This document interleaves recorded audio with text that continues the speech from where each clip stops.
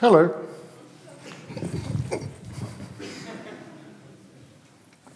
So, if I had really had a heart attack, how many of you are confident that you would know what to do to save my life? Put your hands up if you are. Okay, so some, some, but many of you are not confident at all. And to be honest, you're right to be worried. Because today, about a thousand people will die in Europe alone from cardiac arrest and choking, and about the same number in the United States, and many more all around the world. Now, many of those victims could be saved if the people around them knew simple emergency skills. Now, wouldn't it be great if we had a better way to teach those emergency skills? Maybe we could use the internet to do it. Maybe we could do something like this. Lifesaver is an experiment in a whole new way to teach emergency skills. Hey, what, what are you doing? It's a movie you play like a game. It throws you into three situations where someone will be dead in 10 minutes unless you do the right thing. You learn by doing. Do it wrong and see the consequences. Come on, breathe then. What do you do?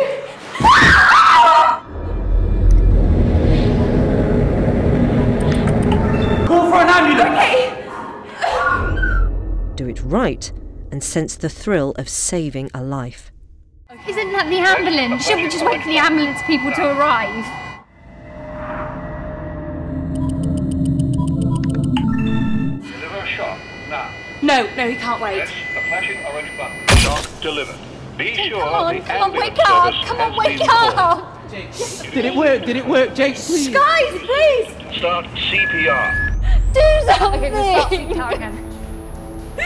what do we do? Do something. What do we do?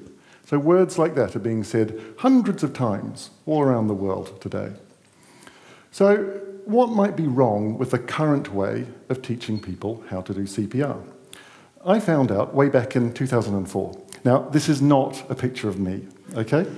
Uh, but it was this kind of course uh, little plastic dummy, one teacher for about 10 people, uh, tea and biscuits, very nice and relaxed.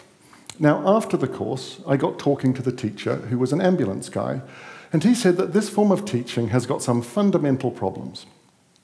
It's small scale, one teacher, 10 people. So it's always going to be very difficult to get to a situation where hundreds of thousands or millions of people know this stuff. It's expensive because it's small scale, and it's inconvenient. Very often, people who want to do one of these courses can't find a course. It's forgettable. People generally find that they forget what they've learned on one of these courses after about six months. They don't forget completely, but they forget to the extent that if a crisis really happens, they don't actually step forward and help because they don't have the confidence. But then the final problem was, in a sense, the most challenging. It's unrealistic. What the ambulance guy said is that if you are trying to save a friend of yours or a family member who's having a heart attack or choking, it will quite possibly be the most terrifying moment of your life. There will be screaming, there will be shouting, there will be blood, there will be panic.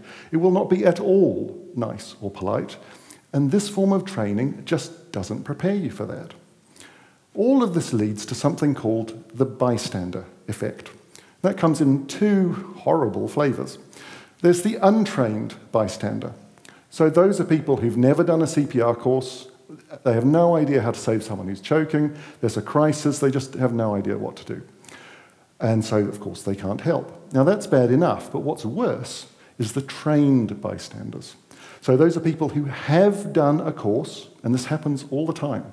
They have done a course, but when they see a real crisis, they're just completely frozen because they just have no, it's so different from what they've been seen before that they just can't help. And so they don't do anything, and so people die as a result.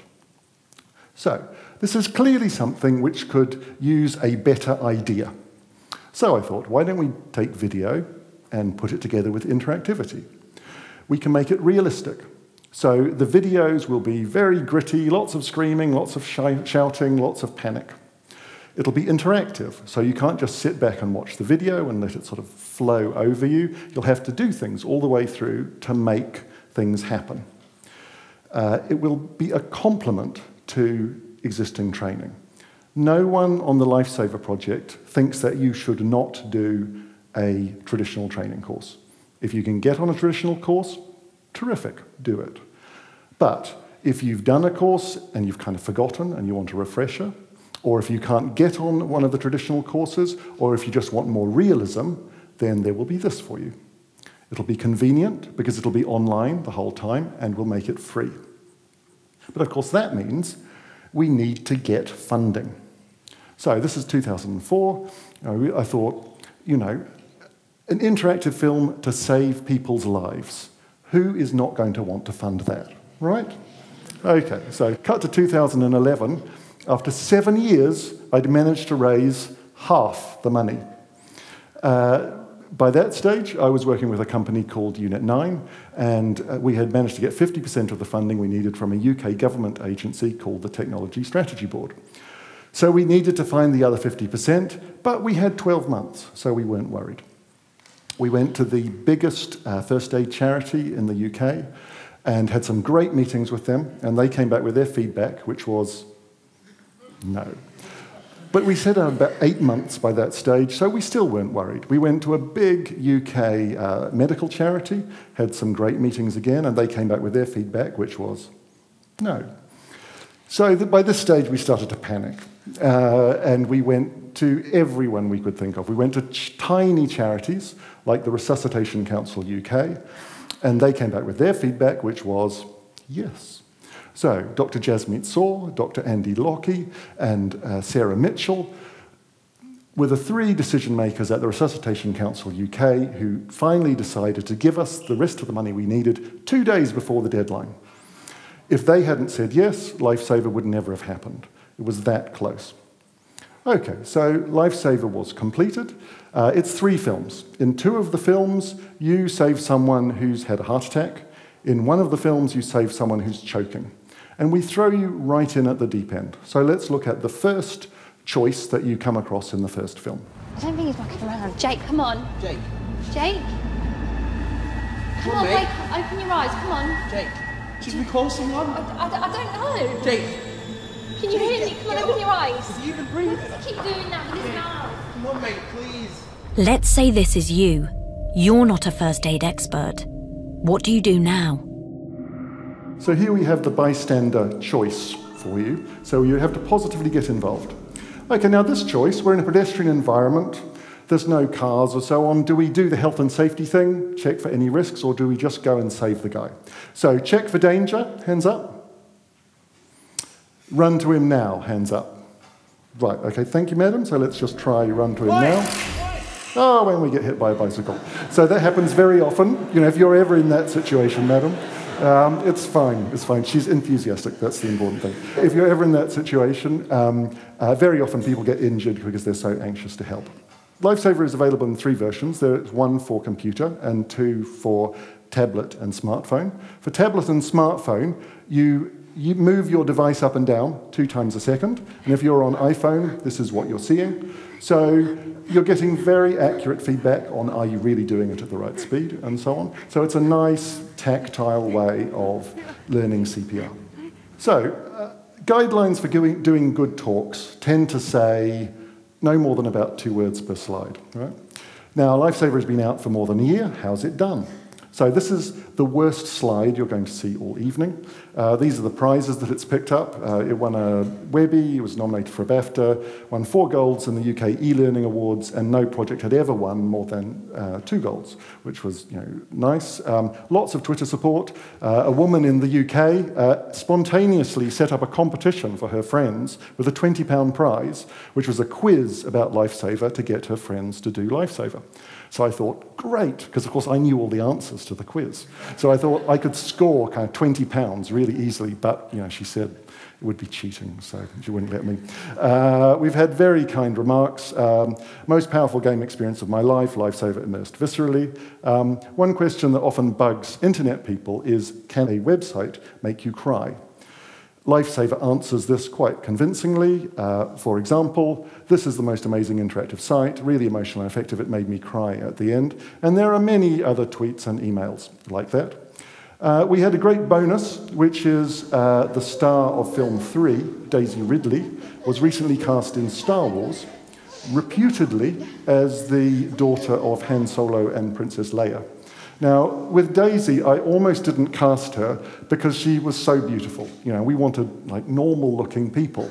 Uh, but she was so good at acting, I thought, oh, don't have any choice. So she was absolutely fantastic, and of course, she's brought in lots of new viewers. That footage, I should say, has never been seen before. Uh, it's not actually in the final film, so that's the only time it's ever been viewed. Okay, so that's all fine, but it's all a bit anecdotal, right? Give me some proof. A doctor did heart rate tests on someone watching two typical CPR films.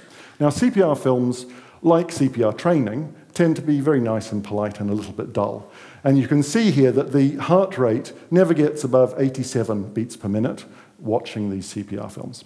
Lifesaver, by contrast, the heart rate gets up to 105 beats per minute, and that's the desktop version where you're just pressing buttons. So, one question I often get asked by film people is yeah, yeah, yeah, but does the interactivity actually make a difference? Couldn't you just show regular video with people screaming and shouting, and wouldn't that be good enough? Well, again, uh, the data shows that the interactivity does make a difference. Without interaction, the, the heart rate never gets above 83 beats per minute because what's happening is that the interaction is making you feel this is your problem. You're the one who has to save this person. And so it becomes much more emotionally involving, much more gripping. South Bristol Community Hospital in England did tests with a random selection of members of the public. They found that confidence in doing CPR rose from 37% before Lifesaver to 74% after, and 100% of the people they tested said they were much more likely to help out in a real emergency. Okay, now Lifesaver is an idea. And it's an idea that can be applied to all sorts of crises. We want, naturally, we want to do Lifesaver for Germany, for the United States, for China, but we also want to do 12 most common emergencies, everything from drowning to car crash. We want to do one about women's personal safety. We want to do one about what to do in an earthquake, and so on. So, lots of great potential for this approach, for this idea. How many of these projects are currently funded? How many are currently underway? Not one single Lifesaver project is currently underway. We went back to the first aid charities, went back to the medical charities, absolutely no interest. What's the reason? Well, it's obvious, right? I suck. Clearly, I suck at marketing and just can, you know, I'm just hopeless at getting these things underway. Who could do a better job? You could. It's not that difficult to make a film like Lifesaver. It's not that different from making a regular video.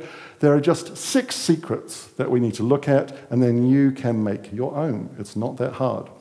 It's something you do. So, Lifesaver or a Lifesaver type film is not a film that tells a story where someone has a heart attack. Lifesaver is where you save somebody who's had a heart attack. It's not a choose your own adventure story with lots of different endings.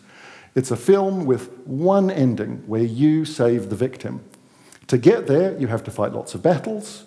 If you lose, then the victim dies, you go back a bit, you try again. But at the end, you will save the victim. You need an interactive film director. Lots of interactive films fail dreadfully, and one common reason is they just get a regular director who just does the videos, and then walks away. And the videos are thrown over a glass wall to the interactive people who work on it separately. And so the whole thing just collapses horribly. What you need is one person who's looking after the concept, the script, the shoot, the coding, the launch, so the whole thing is nicely integrated you need an interactive production house. Now, the interactive production house on Lifesaver was a company called Unit 9, and Piero Frescobaldi, the creative director, and Yates Buckley, the technical partner, did an absolutely fantastic job along with the coders and designers, and they made Lifesaver what it is. Real people gives you real emotion. Sometimes people say, yeah, but why not just make it like a video game with computer generated imagery?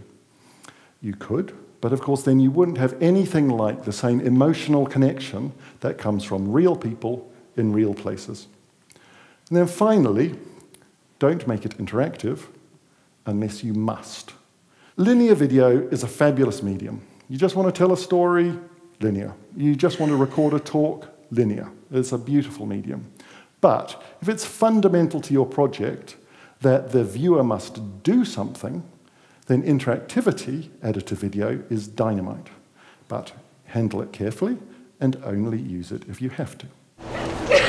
Okay, guys, thanks a lot. We'll take it from here. Okay, okay we're going to take over the CPR in three, two, one. 45 seconds until analysis will resume. Thank you so much. Oh, it's okay. I just hope he's Thank you okay.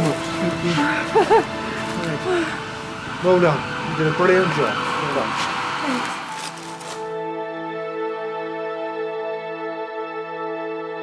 Delivered.